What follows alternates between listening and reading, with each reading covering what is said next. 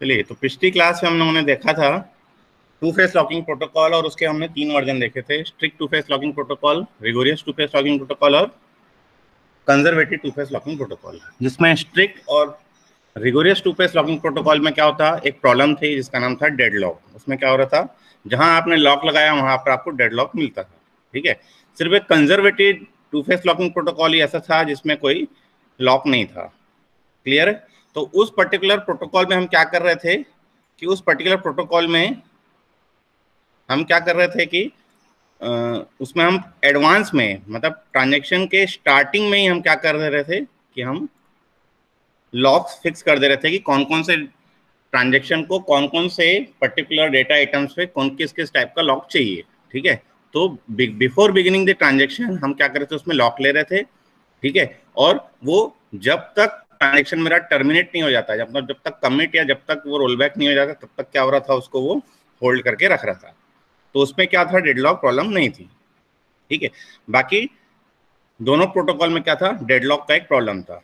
ठीक है? तो अब डेडलॉक प्रॉब्लम से बचने के लिए हमने क्या किया, दूसरा प्रोटोकॉल देखना चालू कर रहे हैं, वो है टाइम स्टैम्प ऑर्डिंग प्रोटोकॉल ठीक है?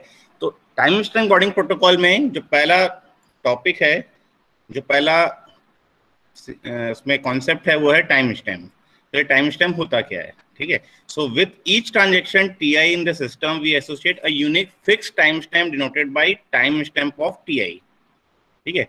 This time stamp is assigned by database system before the transaction T I start execution मतलब हर ट्रांजेक्शन को स्टार्ट होने से पहले क्या होगा कि एक हम टाइम स्टैम्प अलॉट कर देंगे। ठीक है?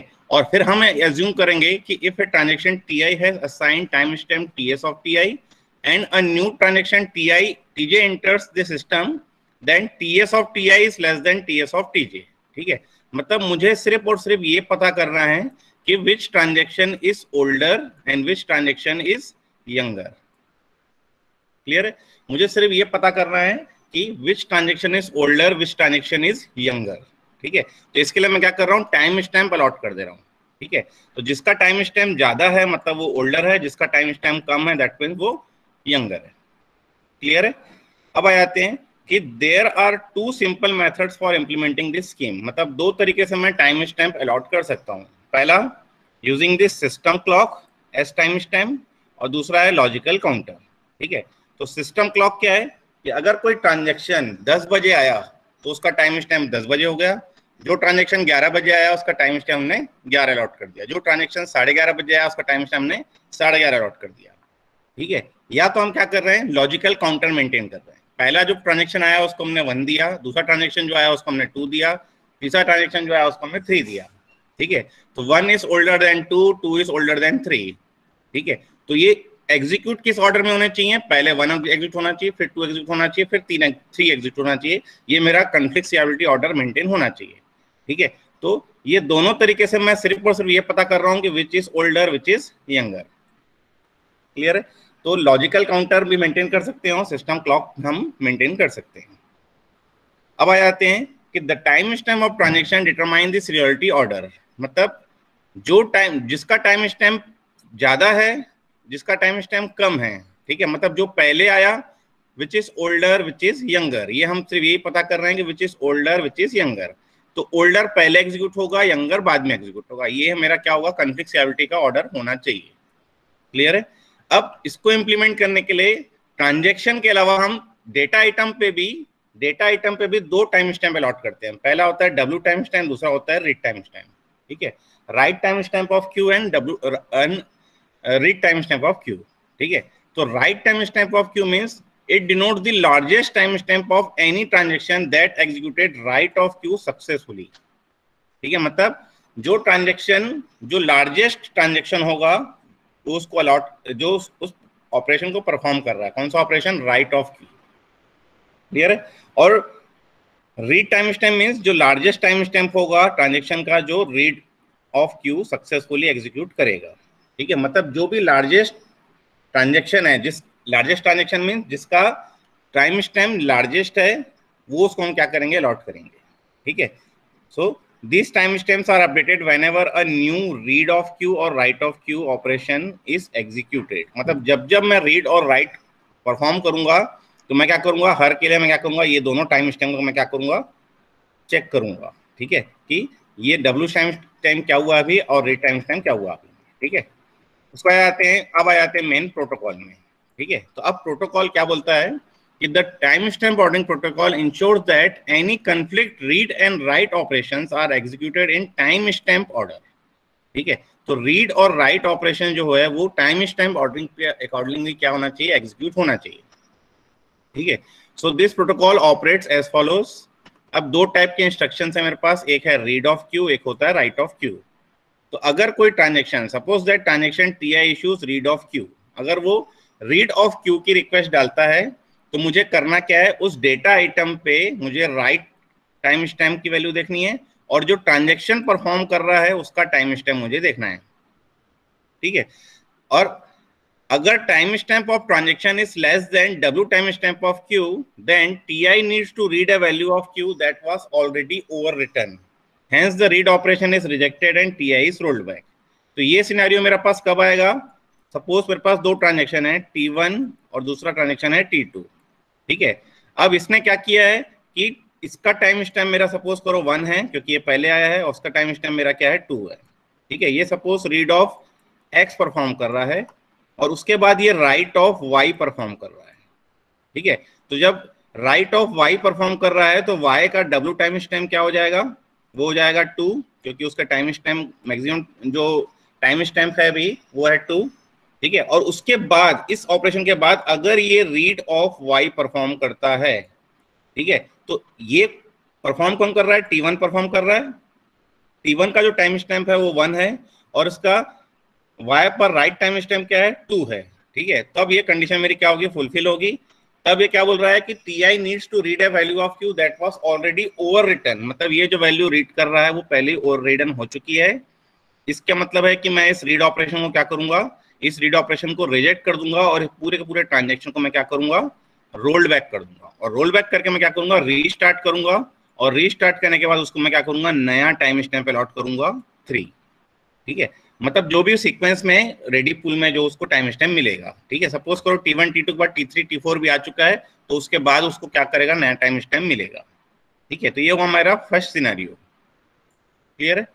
अब देखते हैं second scenario if T S of T I is greater than और equal to write time stamp of Q इसका मतलब है कि अगेन मेरे पास टी वन और टी टू दो ट्रांजेक्शन है, ठीक है? इसका टाइम स्टैम्प वन है, इसका टाइम स्टैम्प टू है, ठीक है?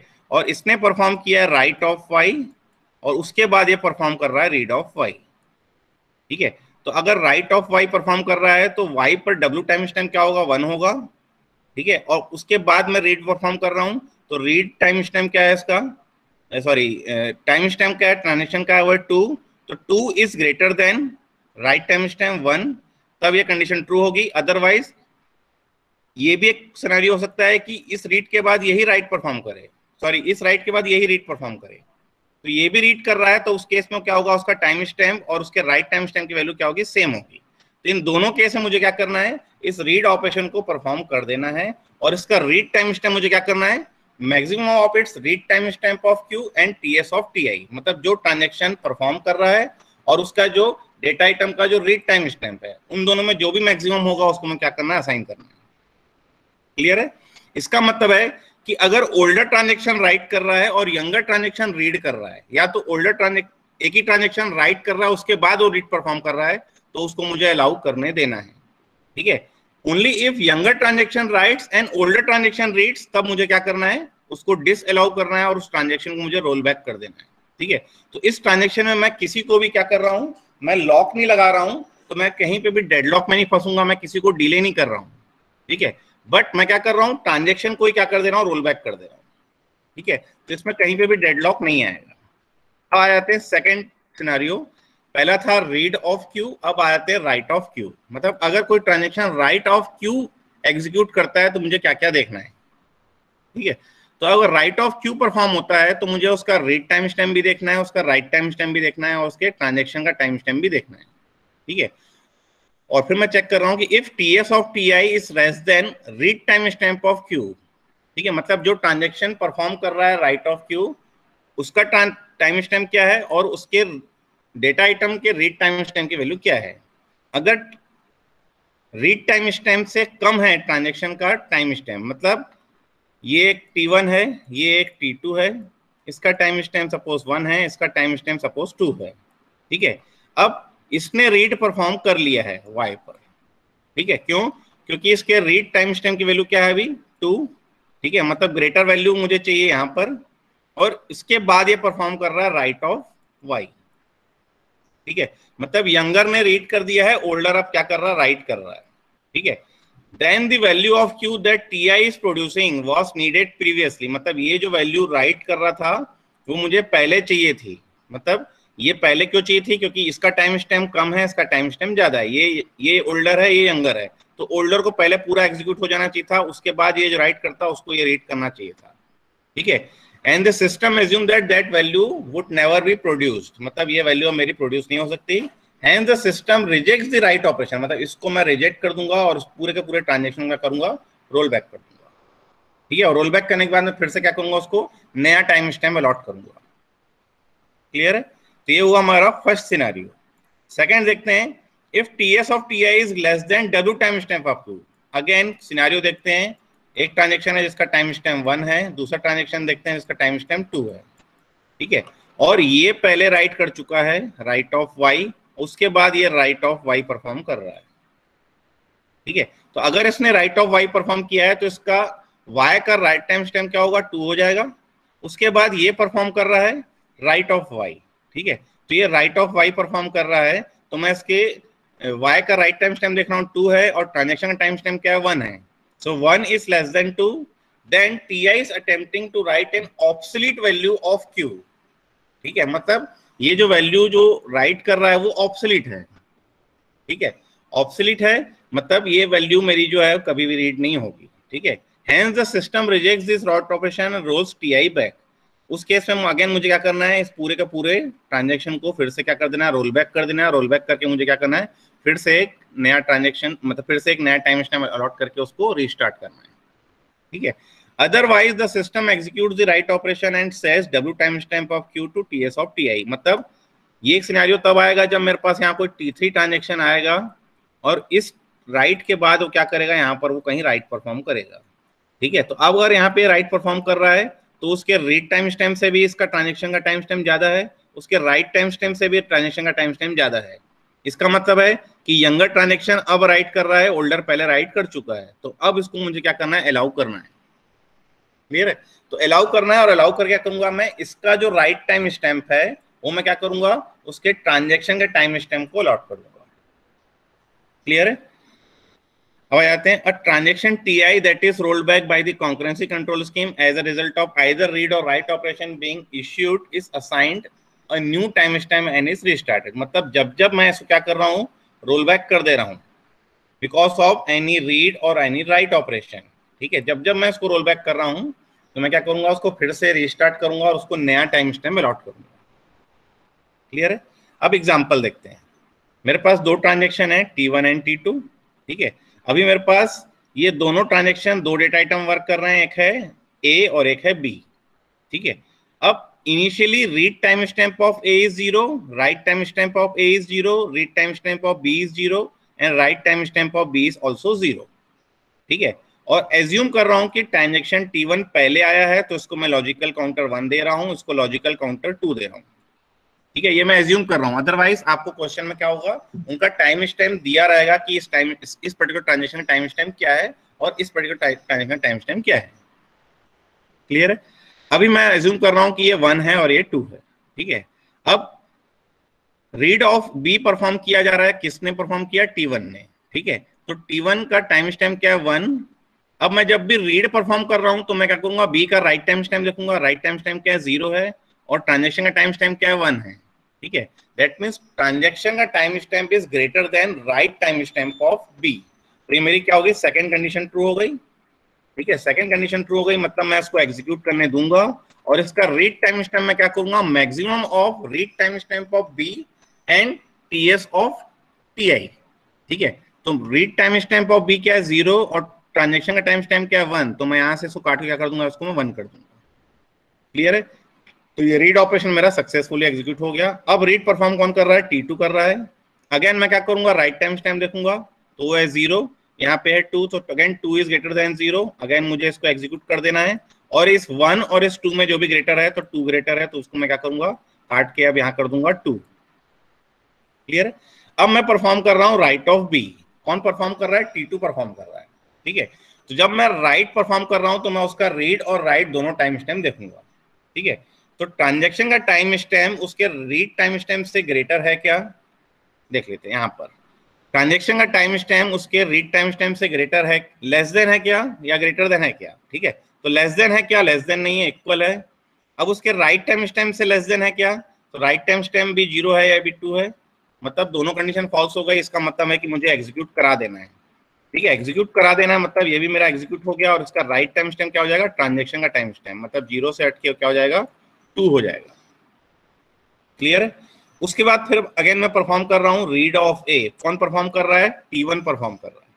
ठीक है? तो टी वन परफॉर्म कर रहा है रीड ऑफ़ ए तो इसका मतलब है कि मुझे अगेन ए में क्या करना है? राइट टाइम स्टैम्प देखना है। राइट टाइम स्टैम्प ज़ीरो है, ये वन है। One is greater than zero मुझे ए भी एग्जीक्यूट कर देना है। एग्जीक्यूट करके इसका रीड टाइम स्टैम्प क्या हो जाऊँगा? ज़ीरो से हो जाएगा वन फिर रीड परफॉर्म कर रहा है ट्रांजेक्शन टी टू तो अगेन मैं राइट टाइम स्टैम्प देख रहा हूँ ज़ीरो ये है two two is greater than zero मुझे ए भी एग्जीक्यूट करा देना है और इसका जो रीड टाइम स्टैम्प है। वन और टू में जो भी ग्रेटर है तो ये हो जाएगा टू ठीक है? उसके बाद ये डिस्प्ले कर दे रहा है। उसके बाद जब ये राइट परफॉर्म कर रहा है, ठीक है? ट्रांजेक्शन टी टू परफॉर्म कर रहा है राइट ऑफ़ ए तो अब राइट परफॉर्म कर रहा है तो मुझे रीड और राइट दोनों देखना पड़ेगा। तो रीड टाइम स्टैम्प का क्या है? Two two is equal to two two is not less than two ठीक है? अगेन राइट परफॉर्म कर रहा है तो मैं उसका राइट टाइम स्टैम्प भी देख रहा हूँ तो two is greater than zero. मतलब ये भी मेरा परफॉर्म हो जाएगा और परफॉर्म होने के बाद उसका राइट टाइम स्टैम्प क्या हो जाएगा? टू हो जाएगा। ठीक है? और इस मैनर में मेरे सारे इंस्ट्रक्शन एग्जीक्यूट हो गए। तो मेरा सीरियोलॉजिबिलिटी ऑर्डर क्या आया? पहले टी वन एग्जीक्यूट हुआ और उसके बाद क्या हुआ मेरा? टी टू एग्जीक्यूट हुआ। सो कन्फ्लिक्ट सीरियलिटी ऑर्डर मुझे क्या मिल रहा है? T one followed by T two ठीक है? मतलब ये पूरा का पूरा ट्रांजेक्शन मेरा पहले एग्जीक्यूट हो रहा है, उसका बाद ये एग्जीक्यूट हो रहा है, ये ऐसा सीरियलिटी ऑर्डर मुझे मिल रहा है। ठीक है? टाइम स्टैम्प बॉर्डिंग प्रोटोकॉल हमेशा क्या मिलता है आपको इसमें? इसमें हमेशा आपको कन्फ्लिक्ट सीरियलिटी मिलती है। तो जो भी एग्जीक्यूशन मिल रहा है T one followed by T two ये मेरा कन्फ्लिक्ट सीरियलिटी ऑर्डर का एग्जीक्यूशन मिल रहा है। ठीक है? सेकेंड एग्ज़ाम्पल देखते हैं। अब इसमें मुझे क्या दिया है कि उसमें मुझे पाँच ट्रांजेक्शन दिया है। T one T two T three T four T five ठीक है? टी वन का टाइम स्टैम्प है वन टी टू का टाइम स्टैम्प है टू टी थ्री का है थ्री टी फोर का है फोर टी फाइव का है फाइव ठीक है? और मैं कुछ इंस्ट्रक्शंस दिए हैं जिसमें टी फोर में एक भी इंस्ट्रक्शंस नहीं है अभी तक।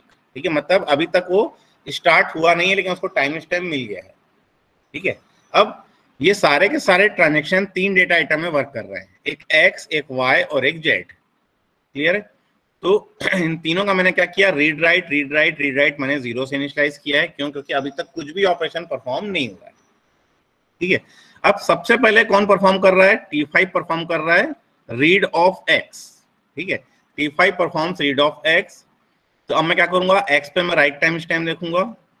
राइट टाइम स्टैम्प मेरा है ज़ीरो ज़ीरो और फाइव कंपेयर करूँगा तो five is greater than zero ये मेरा एग्जीक्यूट हो जाएगा और इसके रीड टाइम स्टैम्प को मैं ज़ीरो और फाइव में क्या करूँगा? फाइव मैक्सिमम है तो मैं यहाँ पे फाइव अलॉट कर दूँगा। ठीक है? Again read of Y is perform by transaction T two ठीक है तो टी टू पे अगेन मैं राइट टाइम स्टैम्प देख रहा हूँ तो ज़ीरो है, वो है टू तो two is greater than zero ये भी मेरा एग्जीक्यूट हो जाएगा। एग्जीक्यूट होने के इसके रीड टाइम स्टैम्प को क्या कहूँगा ज़ीरो और टू में मैक्सिमम क्या है मेरा टू तो मैं यहाँ पे भी परफॉर्म कर दूँगा टू ठीक है? फिर मैं परफॉर्म कर रहा हूँ रीड ऑफ़ वाई कौन परफॉर्म कर रहा है? टी वन ठीक है? तो टी वन परफॉर्म कर रहा है रीड ऑफ़ वाई तो ये क्या करेगा? अगेन राइट टाइम स्टैम्प देखेगा राइट टाइम टाइम ज़ीरो ये वन है one is greater than zero again ये भी मेरा एग्जीक्यूट हो जाएगा।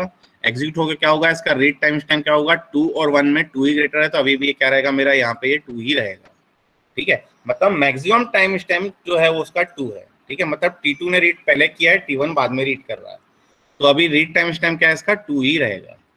अब राइट परफॉर्म कर रहा है कौन? ट्रांजेक्शन टी थ्री ठीक है? तो अब ये राइट परफॉर्म कर रहा है तो मुझे इसका रीड और राइट दोनों चाहिए। ठीक है? Again 3 is greater than 2 condition is true.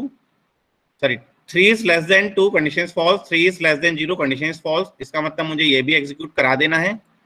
और एग्जीक्यूट कराने के बाद इसका मैं क्या करूँगा? राइट टाइम स्टैम्प अलॉट कर दूँगा ज़ीरो से हटा के थ्री क्योंकि ट्रांजेक्शन टी थ्री ने इसको परफॉर्म किया, उसका ट्रांजेक्शन थ्री था।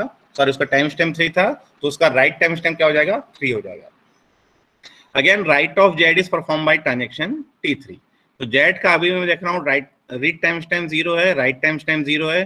Three is less than zero false three is less than zero false ये भी मेरा एग्जीक्यूट हो जाएगा और राइट टाइम टाइम जेड क्या हो जाएगा? वो भी हो जाएगा मेरा थ्री ठीक है? उसके बाद read of Z is perform by transaction T five ठीक है? टी फाइव परफॉर्म कर रहा है रीड ऑफ़ जेड ठीक है?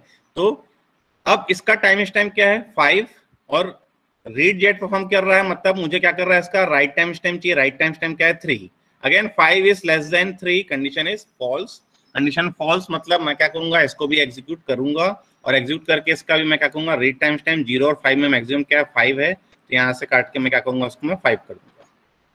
ठीक है? अब इसके बाद यहाँ पर परफॉर्म किया गया रीड ऑफ़ वाई और जेड मतलब रीड वाई परफॉर्म करूँ या रीड जेड परफॉर्म करूँ? दोनों सिनेरियो हमें देखना है। ठीक है? अगर आप तीनों सिनारियो देखना है तो वो तीनों सिनारियो भी देख सकते हैं। अगर मैं रीड ऑफ़ एक्स परफॉर्म करता हूँ, ठीक है? तो रीड ऑफ़ एक्स के लिए मुझे एक्स का राइट टाइम स्टेम चाहिए zero two is less than zero condition is false read of X successfully execute हो जाता। क्लियर है? लेकिन यहाँ पे लिखा गया है रीड ऑफ़ वाई तो वाई का मैं क्या करूँगा? राइट टाइम स्टेम देखूँगा। तो वाई का राइट टाइम थ्री है और ट्रांजेक्शन का टाइम स्टेम टू है। Again two is less than three condition मेरी हो गई ट्रू कौन सी कंडीशन ट्रू हो गई है? ये वाली। यहाँ पे परफॉर्म क्या हो रहा है? रीड परफॉर्म हो रहा है ना? हाँ। रीड परफॉर्म हो रहा है तो मुझे पहला कंडीशन आएगा। तो T S of T I is less than W times time Q that means then T I needs to read a value of Q that was already overwritten hence the read operation is rejected and T I is rolled back मतलब ये जो read perform कर रहा है, ये मुझे पहले चाहिए था। इसने यंगर ट्रांजेक्शन ने राइट किया, उसके बाद मैं ये रीड कर रहा हूँ। तो ये तो मेरा इनकंसिस्टेंट एनालिसिस प्रॉब्लम हो सकता है। कि एक ओल्डर ट्रांजेक्शन एग्जीक्यूट हो रहा था और यंगर ट्रांजेक्शन आया और उसने बीच में कुछ वैल्यूज़ मॉडिफाई कर दी, उसके बाद मॉडिफाइड वैल्यू को क्या कर रहा है? ओल्डर ट्रांजेक्शन रीड कर रहा है। तो फैंटम फिनोमिनम आ सकता है इसमें, इसलिए मुझे क्या करना पड़ेगा? इस रीड ऑफ़ वाई को मुझे क्या करना पड़ेगा? इग्नोर करना पड़ेगा और टी टू को मुझे क्या करना पड़ेगा? रोल्ड बैक करना पड़ेगा। ठीक है रोल बैक करूँगा तो ये फिर से रिस्टार्ट होगा रिस्टार्ट होगा तो इसको नया टाइम टाइम अलॉट होगा, वो होगा सिक्स ठीक है टी टी टी का टाइम स्टैम्प पहले जो टू था, उसको हटा के अब हमने क्या कर दिया? सिक्स कर दिया। सेकंड सिनेरियो भी देख लेते हैं जेड वाला, ठीक है? तो ये भी जो रीड जेड परफॉर्म कर रहा है, उससे पहले यंगर आके राइट ऑफ़ जेड परफॉर्म कर चुका है। अगर हम टाइम स्टैम्प वार्निंग प्रोटोकॉल के हिसाब से भी देखें तो read of Z is perform और उसका राइट टाइम स्टैम्प थ्री है ट्रांजेक्शन का टाइम स्टैम्प टू है। Again two is less than three तो ये कंडीशन मेरी तब भी सेटिस्फाई होती। इसका मतलब है कि यहाँ पे मुझे क्या करना है इसको? इसको मुझे करना है एबॉर्ट और एबॉर्ट करके मुझे क्या करना है इसको? फिर से रिस्टार्ट करना है। क्लियर अब आ जाते हैं read of X is perform by transaction T one तो रीड परफॉर्म हो रहा है तो मुझे राइट टाइम स्टैम्प चाहिए ज़ीरो है one is less than zero condition is false false मतलब ये मुझे एग्जीक्यूट हो जाएगा एग्जीक्यूट होके इसका जो रीड टाइम स्टैम्प हो फाइव और वन में अभी भी फाइव ही ग्रेटर है तो फाइव ही रहेगा। फिर ये परफॉर्म कर रहा है राइट ऑफ़ जेड ठीक है? तो write of Z is perform by transaction T three तो अब ये जो जेड परफॉर्म कर रहा है राइट पे तो इस पे मैं देखूँगा रीड और राइट दोनों टाइम टाइम तो रीड टाइम टाइम मेरा क्या है? फाइव और ट्रांजेक्शन का टाइम टाइम क्या है? Three again three is less than five condition is true मतलब कौन सी कंडीशन ट्रू हो रही है? ये वाली। पहली कंडीशन मेरी क्या हो रही है? ट्रू हो रही है। ट्रांजेक्शन का टाइम टाइम उसके रीड टाइम टाइम से लेस है। इसका मतलब है कि जो वो प्रोड्यूस कर रहा है मुझे पहले चाहिए था। ठीक है? पहले चाहिए था मतलब ये जो वैल्यू यहाँ राइट कर रहा है, ये जो वैल्यू यहाँ राइट कर रहा है, वो मुझे इस रीड सॉरी इस रीड के पहले चाहिए थी। ठीक है? तो ये भी मेरा क्या हो जाएगा? एबॉर्ट हो जाएगा। एबॉर्ट हो जाएगा तो मैं क्या करूँगा? इसको भी रिस्टार्ट करके इसको भी मैं नया टाइम स्टैम अलॉट करूँगा, वो टाइम स्टैम अलॉट होगा सेवन ठीक है? उसके बाद मैं राइट ऑफ़ वाई परफॉर्म कर रहा हूँ। कौन परफॉर्म कर रहा है? टी फाइव तो वाई पे मैं क्या करूँगा? रीड राइट देखूँगा। तो रीड राइट मेरा थ्री फोर फाइव है। Five is less than three five is less than five दोनों फॉल्स है, ये एग्जीक्यूट हो जाएगा। और इसका रीड टाइम स्टैम क्या हो जाएगा? थ्री और फाइव में मैक्सिमम जो है वो फाइव है तो यहाँ फाइव हो जाएगा। अगेन राइट ऑफ़ सॉरी हाँ again write of Z is perform by transaction T five ठीक है? तो अब मैं क्या कहूँगा इसका अगेन रीड और राइट दोनों देखूँगा। Five is less than five false five is less than three false तो ये मेरा एग्जीक्यूट हो जाएगा। एग्जीक्यूट होने के बाद मैं इसका भी राइट टाइम स्टैम्प का ऑर्डर करूँगा? फाइव क्लियर है? अब इस पर्टिकुलर सीरीज़ के हिसाब से अगर हम देखें तो कंफ्लिक्ट सियरिटी ऑर्डर मुझे क्या मिल रहा है? पहले मुझे एग्जीक्यूट हो रहा है टी वन उसके बाद एग्जीक्यूट हो रहा है, देखिए ये सिक्स हो गया, ये सेवन हो गया तो यहाँ सेकेंड एग्जीक्यूट हो रहा है टी फोर थर्ड जो है सीरियलिटी ऑर्डर के हिसाब से वो है मेरा टी फाइव नेक्स्ट इस सीरियलिटी ऑर्डर के हिसाब से मैं देखूँ तो वो है मेरा टी टू और लास्ट में जो है वो है मेरा टी थ्री तो कन्फ्लिक्ट सीरियलिटी ऑर्डर मुझे यहाँ पे क्या मिल रहा है? यहाँ पे मुझे मिल रहा है T one followed by T four followed by T five followed by T two followed by T three ठीक है? क्योंकि टी वन का जो टाइम स्टैम्प है वो वन है टी फोर का टाइम स्टैम्प जो है वो है फोर है टी फाइव का ट्रांजेक्शन जो है वो सॉरी टाइम स्टैम्प जो है वो फाइव है टी टू का टाइम स्टैम्प जो है वो सिक्स है और टी थ्री का टाइम स्टैम्प जो है वो सेवन है।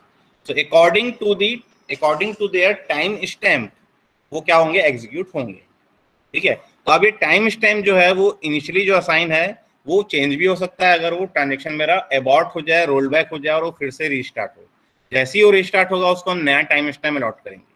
ठीक है? तो टाइम स्टैम्प अलॉट करने का हमें सिर्फ़ और सिर्फ़ यही तरीका है कि मतलब यही इसका जो मेन महत्व है, या जो हम बोले मोटो है, वो ये है कि हमें ओल्डर ट्रांजेक्शन पता करना है और यंगर ट्रांजेक्शन पता करना है कि which is older which is younger और हमें ओल्डर ट्रांजेक्शन को पहले एग्जीक्यूट करवाना है और यंगर ट्रांजेक्शन को बाद में एग्जीक्यूट कराना है, ठीक है? अगर कहीं प्रॉब्लम आती है तो जो ओल्डर ट्रांजेक्शन है, उसको हम क्या करेंगे? रोल बैक करेंगे और उसको हम क्या करेंगे? यंगर से भी यंगर बना देंगे। तो यंगर से भी यंगर बनाने से क्या होगा कि वो जो यंगर ट्रांजेक्शन था, वो अब ओल्डर हो जाएगा और जो ओल्डर था, वो अब यंगर हो जाएगा।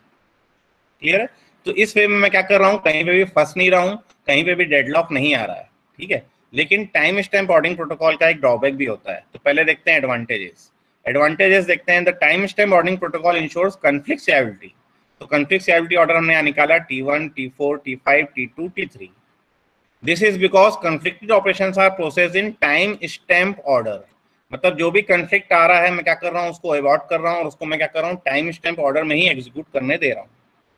Second the protocol ensures freedom from deadlock इसमें कोई डेडलॉक नहीं है since no transaction ever waits एक भी ट्रांजेक्शन वेट नहीं कर रहा है, ठीक है? जहाँ भी फंस रहे हैं, हम क्या कर रहे हैं, उस ट्रांजेक्शन को ही रोल बैक कर दे रहे हैं। हम उसको वेट करने नहीं दे रहे हैं। उसको क्या कर रहे हैं रोल बैक कर दे रहे हैं और उसको फिर से सिस्टम में हम क्या ले ले आ रहे हैं। ठीक है सिस्टम में फिर से ले आ रहे हैं। तो फिर से क्या होगा, उसको नया टाइम स्टैम्प मिलेगा और फिर से हम क्या करेंगे, पूरे प्रोटोकॉल को फिर से चेक करेंगे।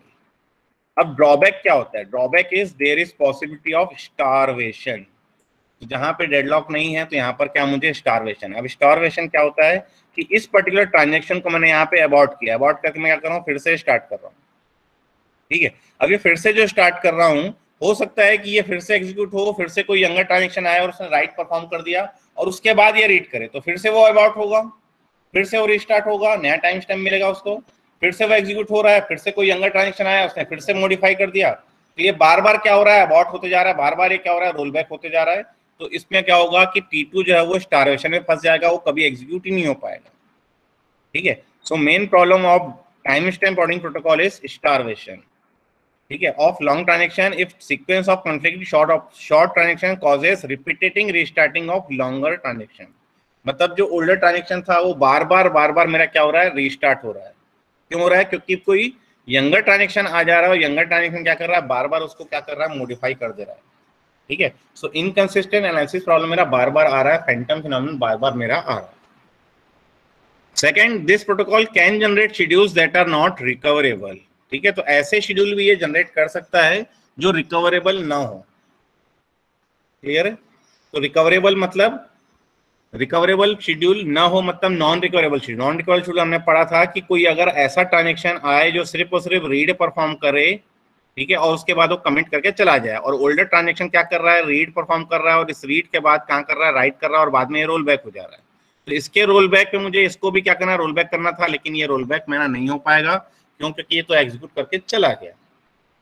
ठीक है? सो ऐसे शेड्यूल ये जनरेट कर सकता है which is not recoverable clear अब सेकंड आ जाते हैं इसी का मॉडिफाइड वर्जन जो है, वो बोलते हैं थॉमस राइट रूल या किसी किसी बुक में इसको बोलते हैं strict time stamp ordering protocol ठीक है? So Thomas write rule provides a modification to the time stamp ordering protocol that allows greater potential concurrency that does the time stamp ordering protocol ठीक है? मतलब हम क्या कर रहे हैं टाइम टाइम मॉडिंग प्रोटोकॉल में थोड़ी सी मॉडिफिकेशन चाह रहे हैं, ठीक है?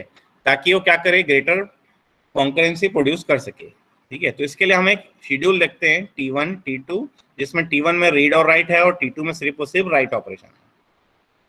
क्लियर है? अब यहाँ पर हम देखते हैं टाइम स्टैम्प मॉडिंग प्रोटोकॉल को हम लगाएँ अगर तो टी वन और टी टू में पहले टी वन स्टार्ट हो रहा है तो उसको सपोज़ हमने वन दे दिया, इसको हमने दे दिया टू ठीक है?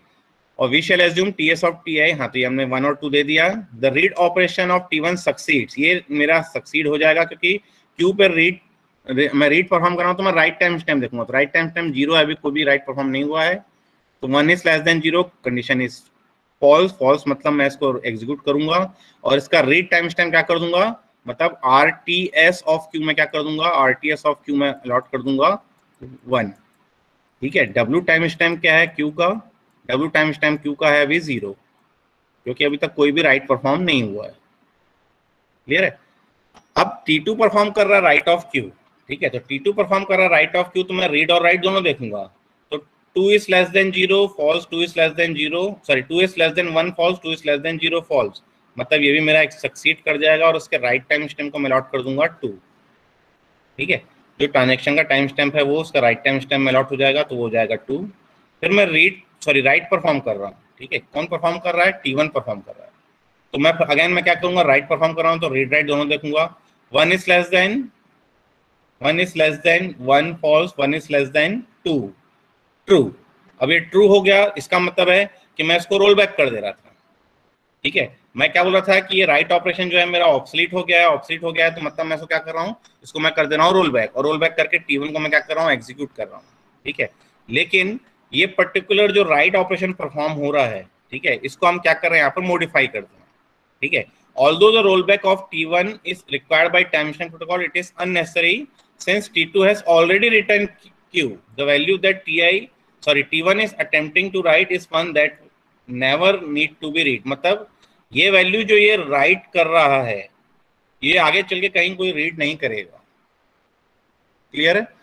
उस केस में हम क्या कर रहे हैं कि इसको हम मॉडिफाई कर रहे हैं और मॉडिफाई करके हम क्या कर रहे हैं, जो सेकंड ऑपरेशन था, ये ये जो कंडीशन मेरी क्या हो रही है? ट्रू हो रही है। तो इस कंडीशन हम क्या कर रहे हैं, हम इसको चेंज कर रहे हैं और चेंज करके मैं क्या कर रहा हूँ I is attempting to write an obsolete value of Q hence the write operation can be ignored मतलब मैं इसको क्या कर रहा था टाइम स्टैम में मैं इसको पूरा पूरा रोल बैक कर दे रहा था। थॉमस राइट टूल में क्या कर रहा हूँ, मैं सिर्फ़ और सिर्फ़ इसको इग्नोर कर रहा हूँ। इस ट्रांजेक्शन को मैं एग्जीक्यूट कर रहा हूँ, लेकिन मैं सिर्फ़ और सिर्फ़ इस राइट ऑफ़ क्यू को इग्नोर कर दे रहा हूँ। क्यों इग्नोर कर रहा हूँ? क्योंकि ये वैल्यू मेरी ऑप्सलीट हो चुकी है। उसके बाद मेरा यंगर ट्रांजेक्शन आके क्या कर रहा है? राइट परफॉर्म कर चुका है। ठीक है? और according to the time stamp order पहले टी वन होना चाहिए, फिर टी टू एग्जीक्यूट होना चाहिए। मतलब ये मैं क्या करूँगा? सिर्फ़ और सिर्फ़ इग्नोर करूँगा। ठीक है? तो ये क्या कर रहा है कि दो जो पर्टिकुलर ऑपरेशन है, एक था रीड ऑपरेशन एक था राइट ऑपरेशन तो रीड ऑपरेशन के रूल्स में कोई चेंजेस नहीं है। राइट ऑपरेशन वाले रूल में सिर्फ़ और सिर्फ़ सेकेंड रूल चेंज है। सेकेंड रूल में हम क्या कर रहे हैं कि अगर वो ट्रू हो रहा है मतलब T S of T I is less than W time stamp of Q then T I is attempting to write an obsolete value of Q hence this write operation can be ignored बाकी सारे rules मेरे as it is हैं। सिर्फ़ और सिर्फ़ ये rule जो है, उसको हम क्या कर रहे हैं? चेंज कर रहे हैं। क्लियर है? तो ये वही है। अब इसमें जो थॉमस राइट रूल है थॉमस राइट रूल और टाइम स्टैम्प ऑर्डिंग प्रोटोकॉल में सिर्फ़ एक ही डिफरेंस है। जो डिफरेंस था, वो क्या था? ये सेकंड राइट ऑफ़ क्यू का क्या कर रहा है? सेकंड रूल ठीक है? तो इस पर्टिकुलर रूल के कारण क्या हो रहा है कि थॉमस राइट रूल जो है, वो व्यूज़ रियलिटी को यूज़ कर रहा है। जबकि time S time ordering protocol क्या प्रोवाइड कर रहा था? Conflict reality Thomas write rule क्या आपको प्रोवाइड कर रहा है? आपको प्रोवाइड कर रहा है व्यूज़ रियलिटी ठीक है तो व्यूज़ रियलिटी में आपके जो शेड्यूल्स हैं, वो आपके प्रोड्यूस होंगे। किसमें थॉमस राइट में।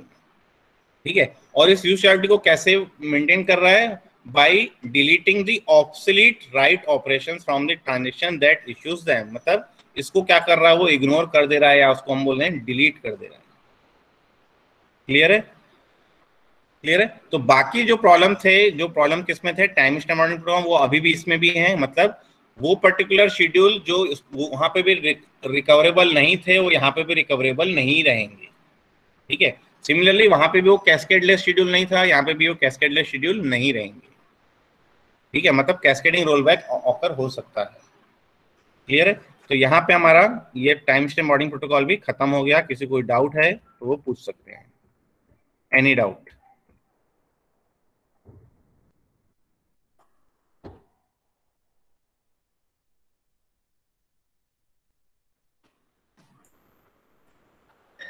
Any doubt